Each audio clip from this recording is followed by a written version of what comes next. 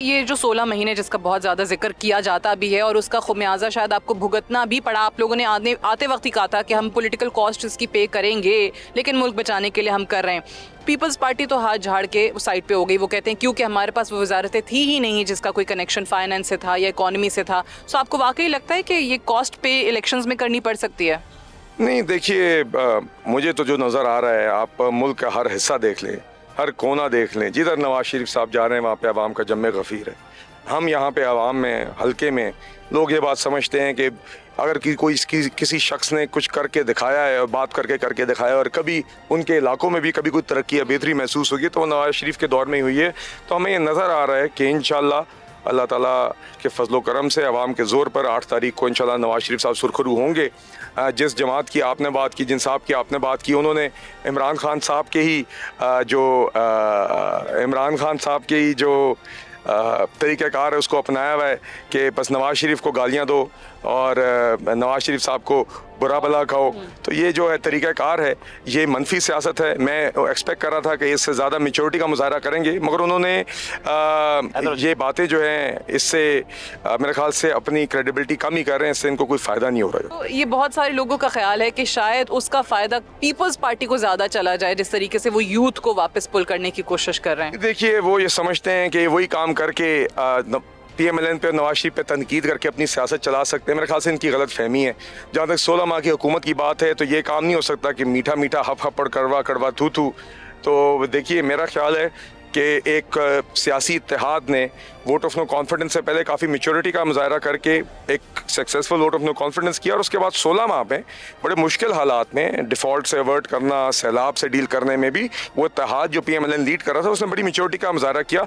मेरी उम्मीद थी कि पीपल्स पार्टी उसी मेच्योरिटी के साथ इलेक्शन भी कंटेस्ट करेगी, मगर they have resorted to cheap tactics उनका यह ख्याल है, ये उनको मदद करेगा। मेरा ख्याल है ना इनको इसमें इलेक्शन में कोई फ़ायदा होगा, और साथ ही अपनी जो पोलिटिकल क्रेडिबिलिटी है, ये लूज़ करेंगे तो बहरहाल वो उनकी ख्वाहिश है कोई किसी को रोक नहीं सकता कोई बातें करने से बातें ज़रूर करें। आठ तारीख को दूध का दूध और पानी का पानी। वो जो बातें करते हैं वो अपनी जगह जब आपके अपने लोग बातें कर रहे हैं शायद खाकान अब्बासी हों मफ्ता इसमाइल हों कि उतने बुरे हालात नहीं थे या वो हम नहीं कर सके जो हम प्रॉमिस करके आए थे उससे कोई फ़र्क पड़ेगा?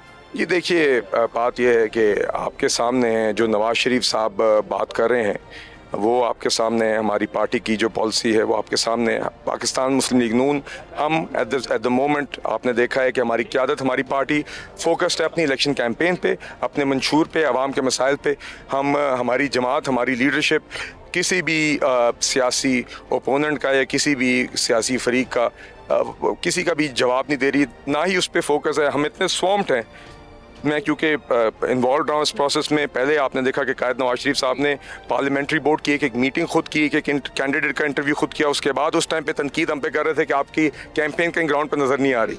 तो फिर हमने उस टाइम भी कहा था कि जब एक दफ़ा टिकट्स की डिस्ट्रीब्यूशन हो जाएगी तो आपको extensive on the ground campaign नज़र आएगी। अब आप देख सकती हैं कि जब ग्राउंड पर जा रहे हैं तो बंदा ही बंदा है मुल्क के जिस कोने में जाएँ।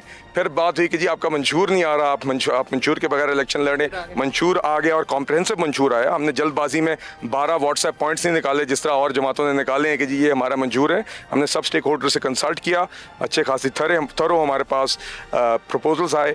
बजट की जिस तरह तकरीबन प्रोसेस होती है हमने उस तरीके से काफ़ी थरो प्रोसेस से गुजर के मंशूर निकाला। अब कैंपेन भी आपके सामने आठ तारीख को भी इनशाला आप देखेंगे दूध का दूध पानी का पानी। एक, एक आखिरी सवाल आपको यकीन है कि नवाज़ शरीफ साहब चौथी बार वजी अजम बन जाएँगे? पूरे पी एम एल एन जो है वो हर जगह पर यही बात कर रही है।